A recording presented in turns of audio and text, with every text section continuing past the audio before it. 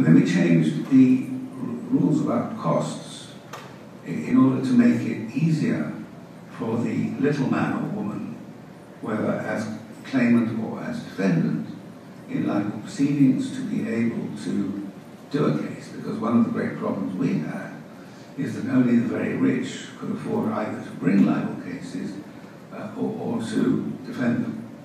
And, and the bill itself has now been enacted and it will come into force by the end of the year and it is a complete transformation of the way we have balanced free speech uh, and, and reputation uh, in the way that I've tried to describe.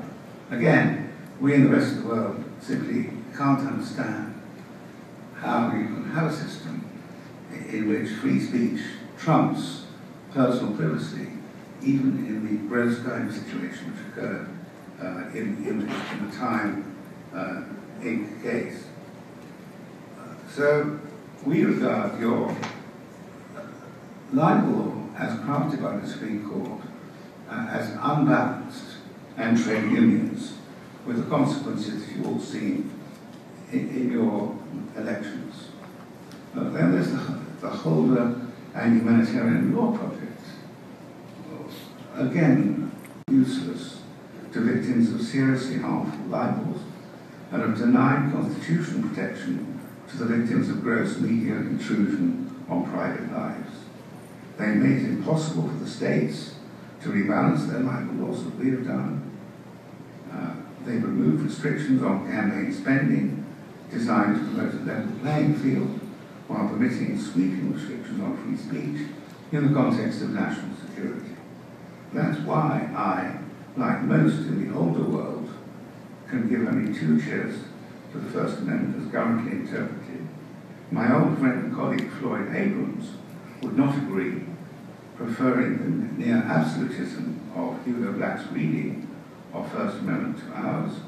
But I remind myself of Learned Hand's famous speech on the spirit of liberty given in 1944 in Central Park, New York.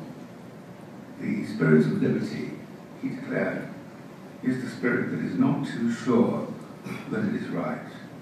And surely that is also the spirit which should inform the way the First Amendment is given effect. Thank you for listening.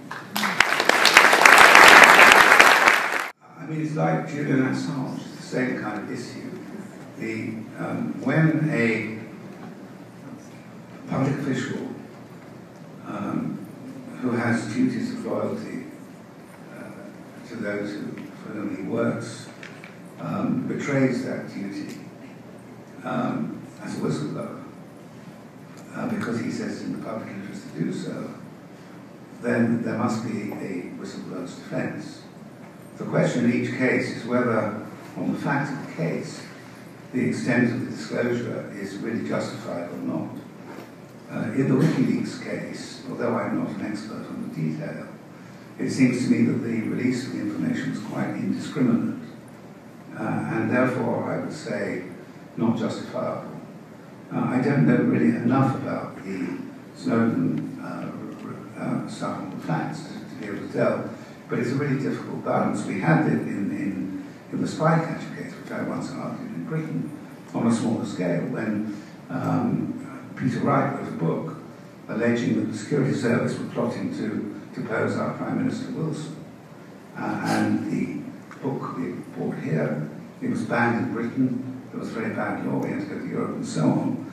Now that was a case where it was clear that the, that the disclosures of information by the press were in the public interest. In the public interest defense we've written into the Defamation Act, provided that you can show objectively that the disclosure is in the public interest, you can have a complete defense. Were not about libel at all, they were about privacy. They were about illegal criminal acts of telephone hacking, tapping, and so on. Uh, um, that's why it's particularly deplorable for those who wanted to punish the press to do so by tacking it onto a, to a libel bill. So I don't think that the libel bill would have um, any real effect on that.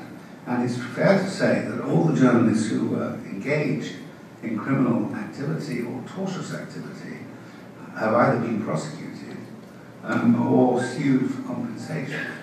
So we have quite enough law, in my view, and I'm not in favour of either state regulation nor a newfangled privacy law when we already have quite enough in Britain to cope with.